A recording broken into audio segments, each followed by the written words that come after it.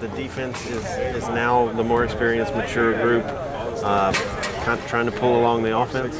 Um, I wouldn't say that and such. I mean, the, the, we just we want to uh, pull the best out of the offense every year. So if we, we come and do what we have to do, I mean, everybody's talking like. Uh, like because we don't have anybody coming back on offense from last year and all the returning yards or whatever the, stats are. I, I know that they're going to be the best they can be on game day, and then that's our job at practice or in camp to, to get them to be the best that they can be. So we, are going to be the best. They're going to be the best offense that you're going to see, and we're going to be the best defense you can see on the other side of it. From what you've seen during scrimmage, who would you put behind center? I don't think I can comment on that.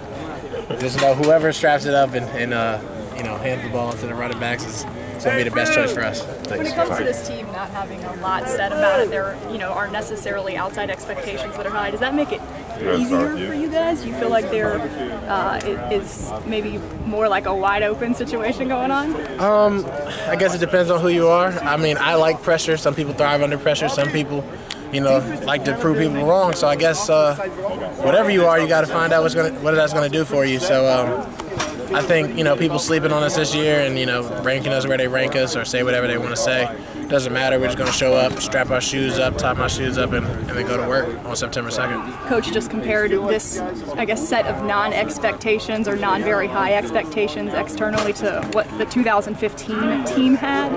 Uh, do you feel like they maybe set a good example of just going out and doing them without necessarily being expected to? Yeah, definitely. I mean, I remember playing on that 2015 team and being a redshirt freshman, and nobody really knew my name as a starter. So, I mean, you come in different year, different team, and you know, you just expect to, to, to be successful on both sides of the ball and, and just get after it on game day. So, I mean, I mean, I can feel the same thing as far as not really expecting us to do much and, and, and doubting us a little bit, but we're, we're ready to just prove them wrong.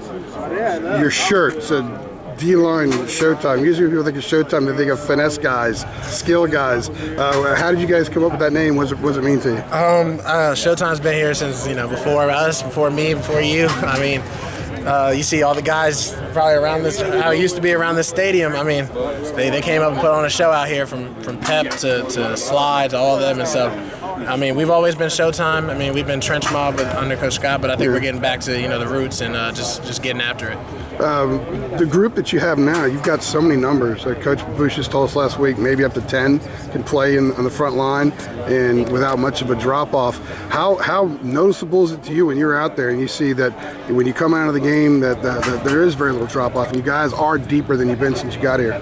I mean, uh, I appreciate it because you know I come onto the sideline and I'm and I'm getting right back up to you know cheer on whoever's going in, and just to see that there is no drop off and the next person right behind me or in front of me or whatever it is, playing just as well or or even better are just making out or making plays. And that just means the defense is making plays which means the team's getting better. So just to see no drop off on any level from the end spot to interior it's just it's just a good feeling for me because I know if something were to happen to me, you know, God forbid, then I know the next person that steps up is, is going to be ready to play. I know the segments that we're allowed to watch in practice, uh, they're not always going to show us everything, but it seems like there's just a constant rotation of guys that are working with the ones on, on, up front on defense.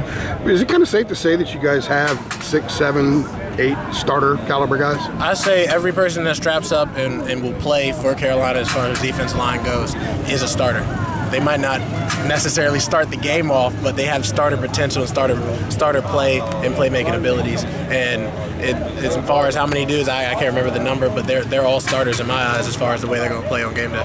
Thanks.